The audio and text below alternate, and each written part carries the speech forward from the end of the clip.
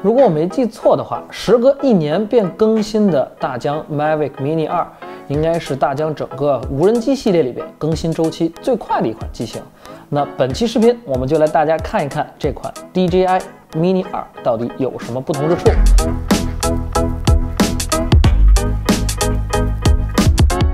好了，各位小伙伴，欢迎来到极客之选。今天我们给大家带来这款产品呢，刚才已经介绍过了，就是大疆的无人机的最新产品 Mini 2。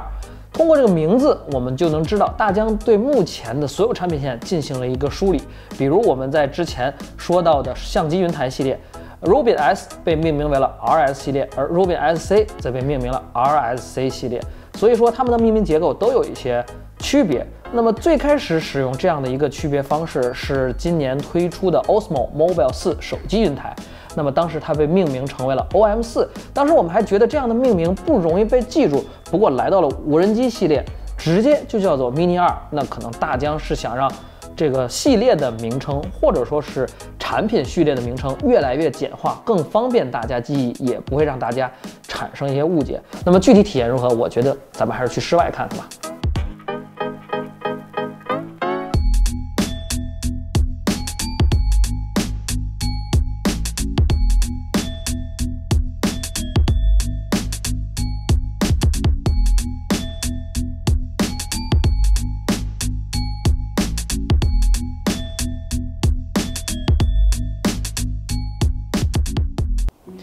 那我们又在老地方和大家相见了。这次我们依旧来到的是在通州的大运河公园啊，因为这个地方是在禁禁飞区之外，所以我们也能给大家带来这款大疆 Mini 2的一个体验的一个部分。我觉得首先还是咱们说一说它的小巧便携吧，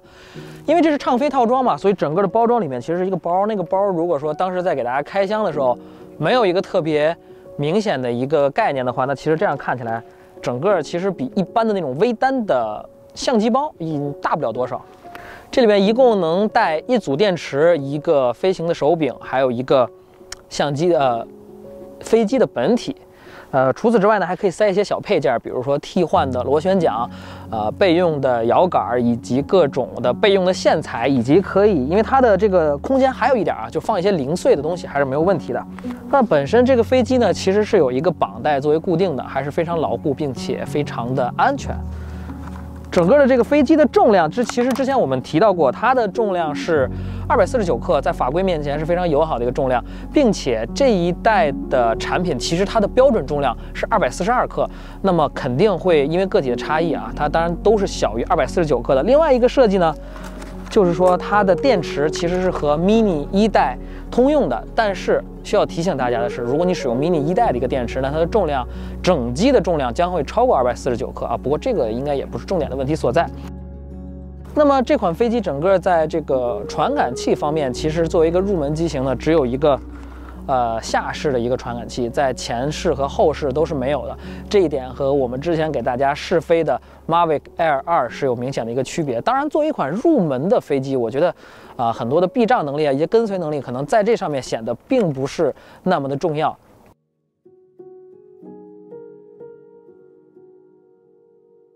那当然谈到了它的拍摄能力，它最大的一个进步就是能够拍摄 4K 三十帧的一个画面，整个的画面的分辨率提升是非常大的，并且 4K 的视频其实会给创作者，呃带来更多的一个裁剪的空间，这一点也是对于后期来讲非常友好的一个部分。当然，因为受限于它的级别和这个入门机型的一个限制啊，帧率如果你拍 4K 的话是被限制在了三十 FPS，呃，如果说能有六十就更好了。当然，这个可能对于它的续航能力就会有一定影响。并且本身它的相机组件的一些发热的控制啊，等等的其他一些体验可能会有所损失，所以说能上 4K，我还是对于这款产品，尤其是定位一个入门的机型来讲非常满意的。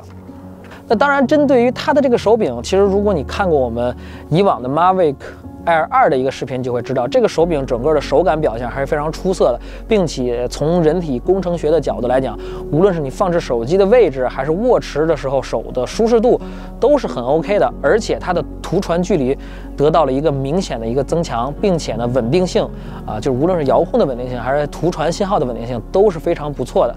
当然，最最最重要的一点是因为它的体积上升了之后，它的续航时间得到了一个明显的增强。就比如说像是我们的这个畅飞套装，它本身带了三块电池，那么根据官方的续航时间来计计算，假如说每一块电池支持三十一分钟的一个续航的话，那么三块电池也就是一个半小时的一个续航时间，它的手柄是完全可以支撑的，甚至五六块我觉得都没有太大的问题。这对于一个飞手来讲，呃，你不用频繁的给两个设备来回充电，这是一个非常。呃，乐意见到的一个事情吧。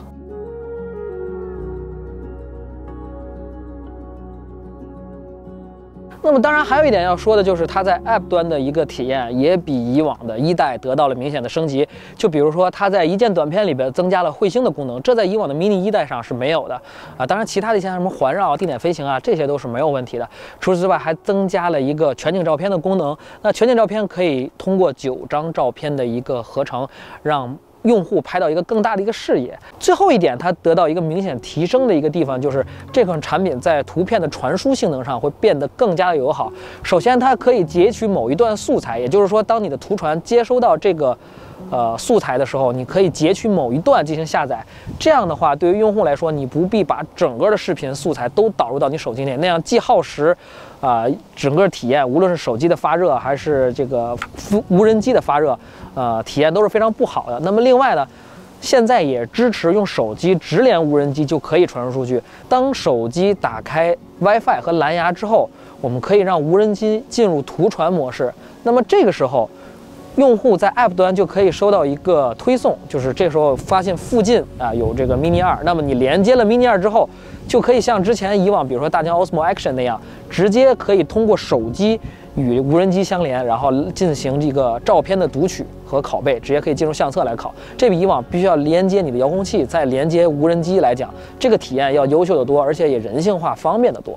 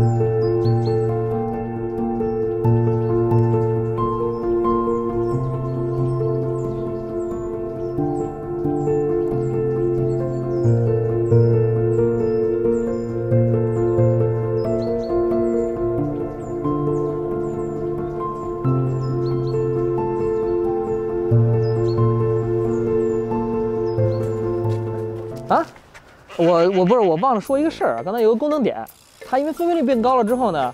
能拍四倍的数码变焦。这赶紧走吧，赶紧走吧，这他妈过了五环啊，不是不是，过了五点进不了五环了，我靠，赶紧走，赶紧走啊！我是想说，咱那个结束语还没，那个拜拜拜拜拜拜，下一步是走。